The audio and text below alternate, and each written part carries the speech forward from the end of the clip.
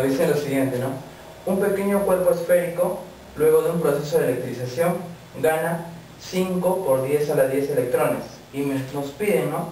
¿Qué cantidad de carga eléctrica adquirió? Entonces lo que yo hago es lo siguiente. Grafico aquí el, cuerpo esférico y supongamos que al inicio tiene una cantidad de carga Q sub 0. Y luego de un proceso de transferencia, eh, un proceso de, de electrización, ¿no? Podría ser de inducción, podría ser por frotamiento o contacto, ¿no? Hay muchas formas de poder electrizar un cuerpo, y más aún un cuerpo metálico, en este caso, que presenta electrones libres, ¿no? Entonces, miren, si suponemos que la cantidad de carga inicial del cuerpo es Q sub 0, y luego del proceso de transferencia, tenemos aquí que su carga ha variado y tendríamos una carga final. Es decir, esto es al inicio, ¿no? O sea, esto se presenta al inicio y esto tenemos al final. Ahora, pero en este proceso, de aquí a aquí, vemos por dato que hay una transferencia ¿no? de cierta cantidad de electrones. Entonces, esto, ¿no? Aquí hay una transferencia, ¿no? O sea, dice que el cuerpo está ganando, quiere decir que está recibiendo, debido a la transferencia, esta cantidad de electrones, ¿no? 5 por 10 elevado a la 10 electrones, ¿no? Ponerlo así. 5 por 10 a la 10 electrones es lo que recibe, ¿no? Entonces, a nosotros nos piden lo siguiente, ¿no? ¿Qué cantidad de carga eléctrica ha sido transferida, ¿no? Entonces, nosotros sabemos que por la ley de cuantización, la cantidad de carga de un cuerpo siempre es un múltiplo entero de la carga de un electrón. Pero entonces nosotros analizamos lo siguiente, ¿no? Tenemos que esta es la carga inicial y la carga final nosotros podemos considerar la carga que ha sido adquirida, la carga que ha sido transferida de esta forma, ¿no? Sería la variación. La variación de la carga, que simplemente sería la carga final, menos la carga inicial, vendría a representar para nosotros la carga que ha sido adquirida, ¿no? ¿Se dan cuenta?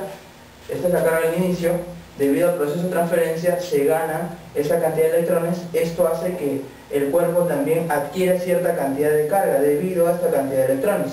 ¿Y cómo sé esa cantidad de carga? Por la diferencia de las cargas, ¿no? Entonces esto en realidad nos indica la carga que ha sido transferida, la cantidad de carga transferida. Entonces en el problema solamente nos piden eso, ¿no? Lo recalcamos por acá. Nos piden la cantidad de carga que ha sido transferida. Eso nos están pidiendo en el problema. ¿Cuánto vale? Pero nosotros sabemos lo siguiente, ¿no? Que la variación de la carga, en este caso, vendría a ser la diferencia de ellas dos y nos vendría a dar lo siguiente. Es un múltiplo entero, ¿no? De la carga de un electrón por la ley de cuantización, ¿no? Sería así. Por la carga del electrón. Pero debido a que en el proceso hay una ganancia de electrones, es decir, el cuerpo tiene electrones en exceso, va a presentar electrones en exceso, es decir, el cuerpo se va a cargar negativamente por, por el hecho de ganar electrones, ¿no? Lo que pasa es que al ganar electrones un cuerpo electrizado, en este caso de una esfera conductora, los electrones tienden a exteriorizarse, ¿no? Bueno, entonces por ley de cuantización tenemos lo siguiente, ¿no? Entonces nosotros decimos así, ¿no? La carga que ha sido transferida simplemente sería un ¿no? negativo del múltiplo entero de la cantidad de carga del electrón. Esto se sustenta por la ley de cuantización. ¿Pero quién es n? Es el número de electrones. En este caso sería número de electrones transferidos, sería en este caso, ¿no? Pero, como n vendría a ser número de electrones transferidos, nosotros podemos deducir que n vendría a ser este valor porque los electrones que han sido transferidos debido al proceso de electrización ha sido justamente esta cantidad. Entonces esto es n. Bueno, entonces de esto ya tendríamos un problema resuelto, ¿no? Puesto que esto es menos y tenemos de dato 5 por 10 elevado a la 10 y sabemos que el valor absoluto ¿no? de la carga de un electrón es 1,6 por 10 a la menos 19 en este caso coulomb y operamos esto y tendríamos la respuesta ¿no?